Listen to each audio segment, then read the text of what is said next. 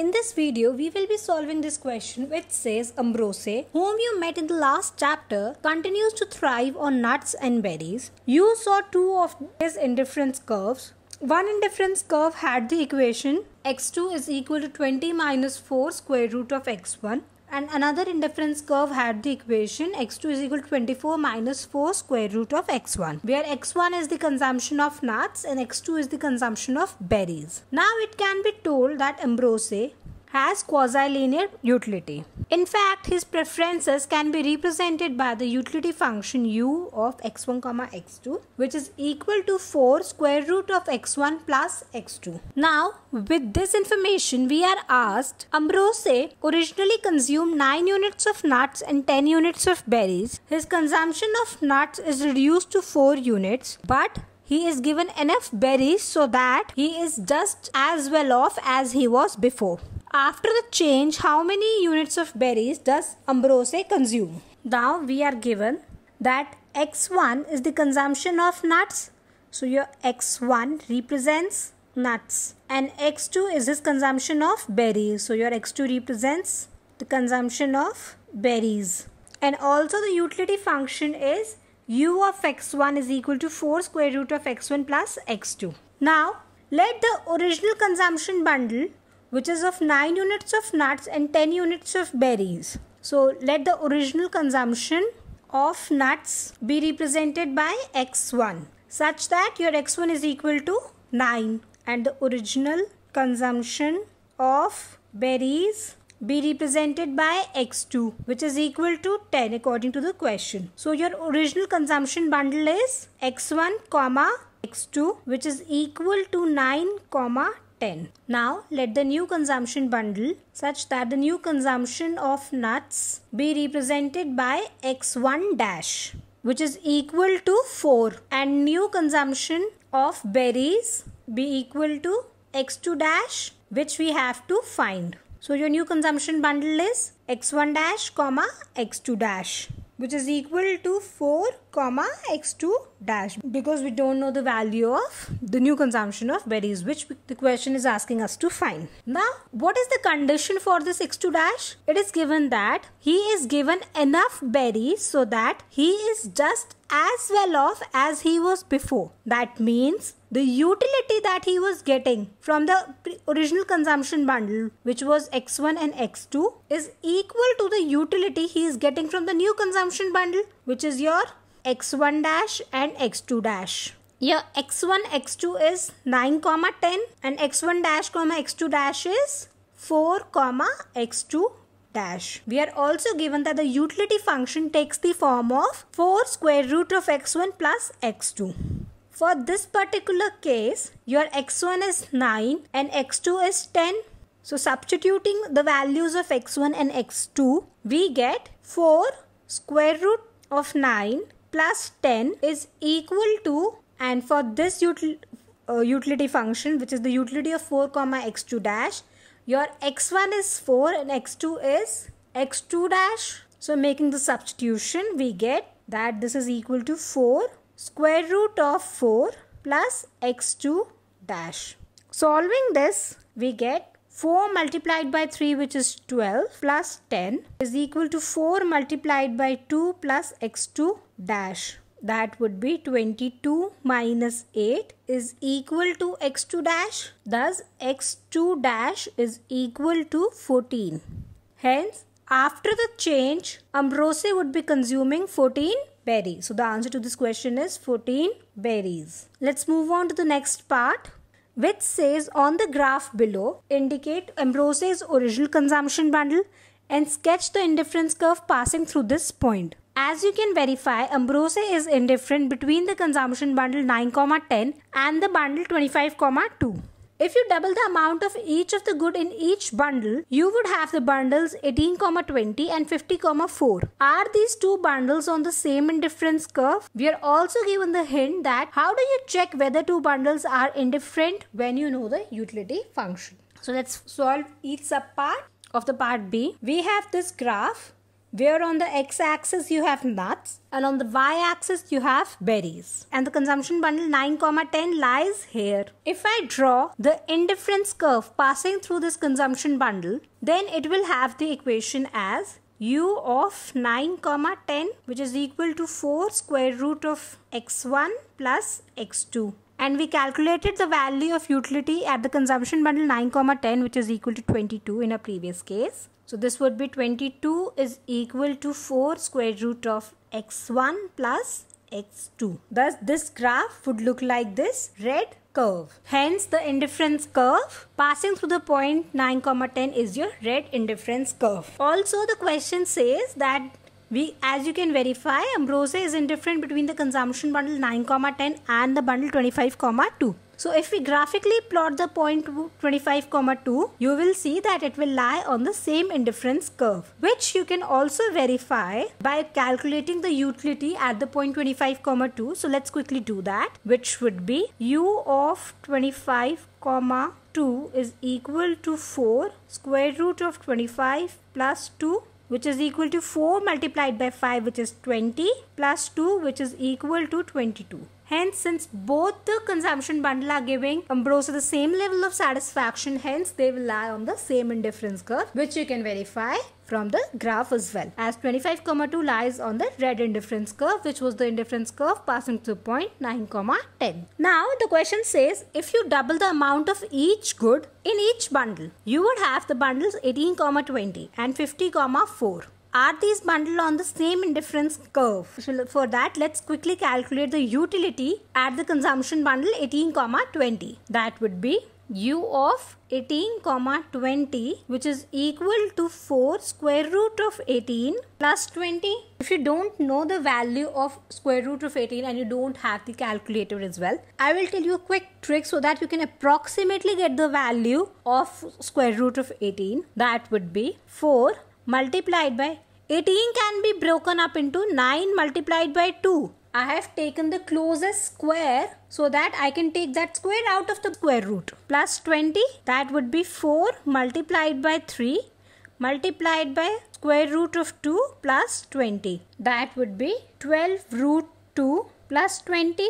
Now root 2 is approximately equal to 1.5. Here I am assuming that you might be knowing the values of root 2 and root 3 which are some basic values. So that would be approximately 12 multiplied by 1.5 plus 20 which is approximately equal to 38. Now note that the utility from the consumption bundle 18 comma 20 is 38 whereas the utility from the consumption bundle 9 comma 10 was 20 2. And since the utility from the consumption bundle 18 comma 20 is more than the utility of the consumption bundle 9 comma 10, thus they will lie on separate indifference curve as this consumption bundle or the consumption bundle 18 comma 20 is giving Ambrose the higher level of satisfaction. Hence it will lie on the higher indifference curve. And the same thing goes for the consumption bundle 50 comma 4 which you can verify from the graph as well. So if you try and plot the points 18 comma 20 and 50 comma 4 which will which you will see will lie here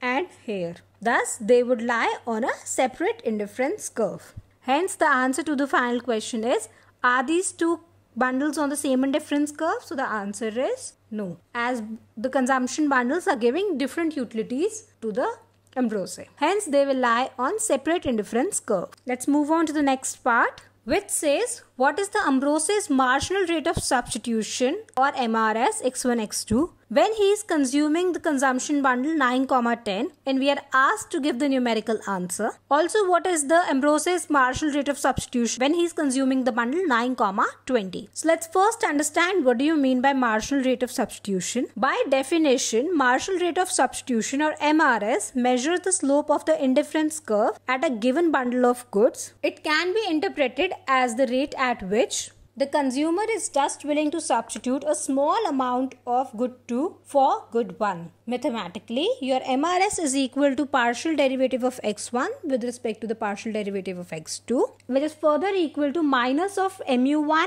divided by mu2. Now, what do you mean by mu1 and mu2?